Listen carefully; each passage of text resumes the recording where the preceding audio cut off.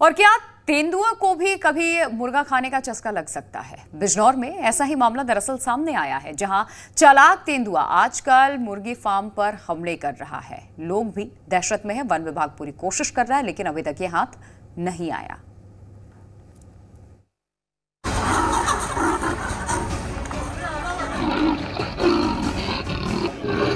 तेंदुए की मुर्गा पार्टी बिजनौर में फैली दहशत। यूपी के बिजनौर में इन दिनों एक तेंदुए के हमले से दहशत फैल गई है। ये तेंदुआ मुर्गे खाने का शौकीन माना जा रहा है। वन विभाग के मुताबिक वन विभाग की दो रेंज धामपुर और साहुवाला में मुर्गी फार्म में घुसे तेंदुए को पकड़ने के लिए काफ़ी कोशिशें की गई, लेकिन वो चकमा देकर भाग गया। इस तेंदुए ने एक मुर्गी फार्म में घुसकर कई मुर्गियों को खा लिया। तेंदुआ पकड़ में नहीं आया है। पिंजरा लगाकर उसे पकड़ने की कोशिश की गई, लेकिन वन विभाग के अधिकारी नाकाम साबित हुए। तेंदुए ने फार्म हाउस की दूसरी दिशा में लगी लोहे की जाली को गिराया और जंगल की ओर भाग गया। Bureau report, Zee Media.